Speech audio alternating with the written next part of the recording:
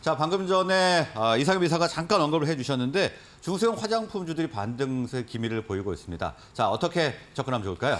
뭐 아쉬운 점은 사실은 이 화장품주들, 전통적으로 화장품주를 대표했던 뭐 아모레퍼시픽이나 LG생활건강 같은 경우에는 아직까지도 주가가 계속해서 아래에 있는 우하향한 그런 모습이 나오고 있습니다.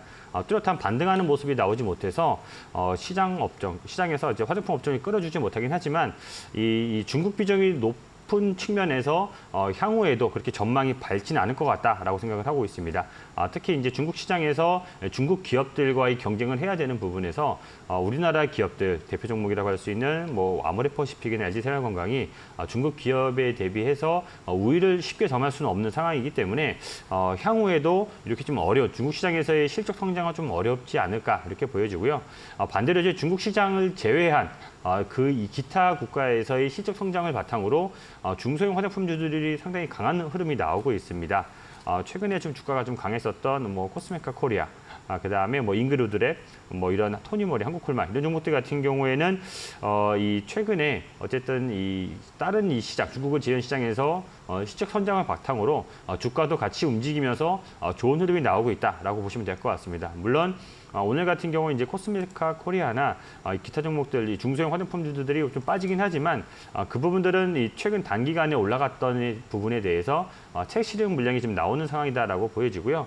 이렇게 지금 이 채식 물량이 다 소화가 되고 아, 눌림 무기 다 소화가 된다라고 하면 어, 다시 한번 실적 성장을 바탕으로 어, 추가적인 움직임이 나오지 않을까라고 생각을 하고 있기 때문에 어, 이 중소형 화장품주들 같은 경우에는 계속해서 조금 눈여겨 보시는 게 맞을 것 같고요.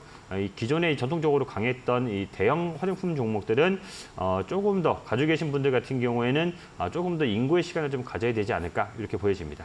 네, 중소형 화장품주 같은 경우에는 오늘 조금 어, 눌림목이 나오고 있지만 앞으로 더 좋은 모습이 나올 가능성이 있기 때문에 주목할 필요가 있다. 이렇게 정리를 해 주셨습니다.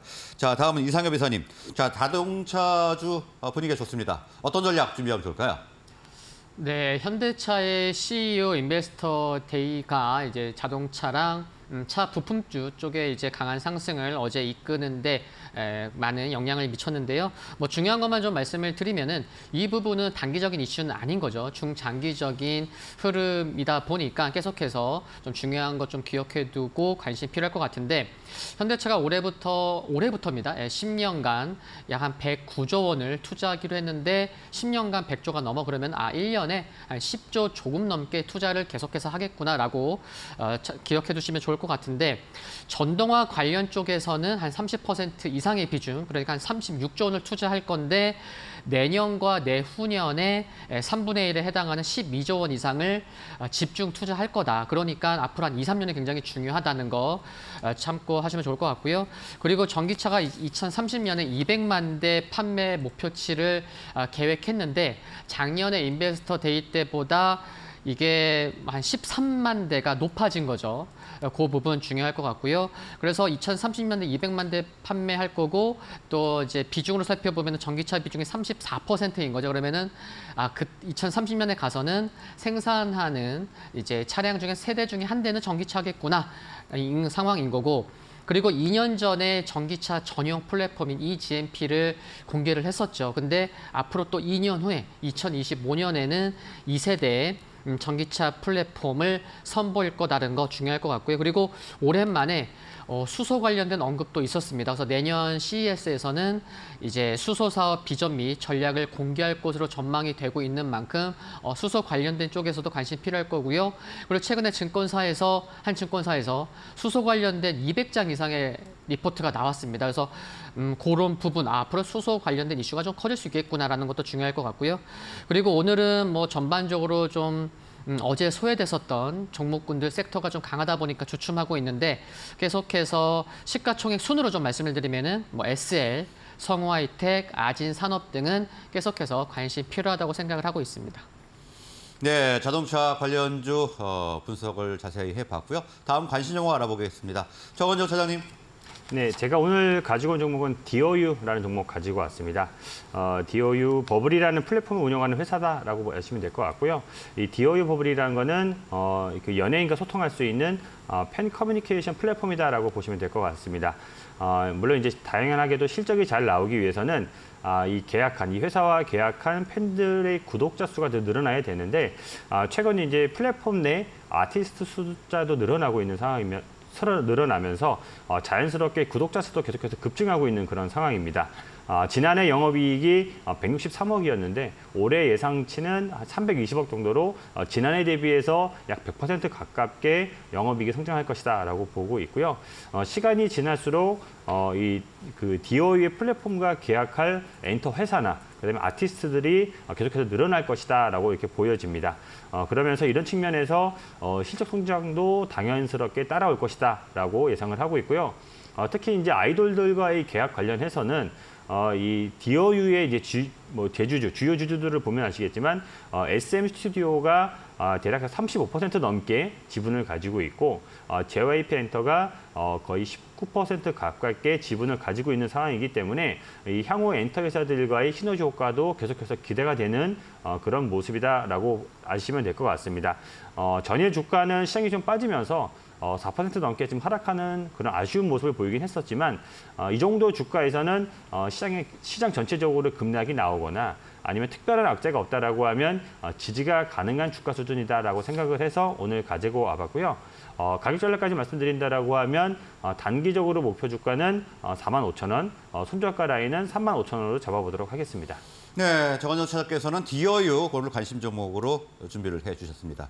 자, 다음은 이상엽 회사님.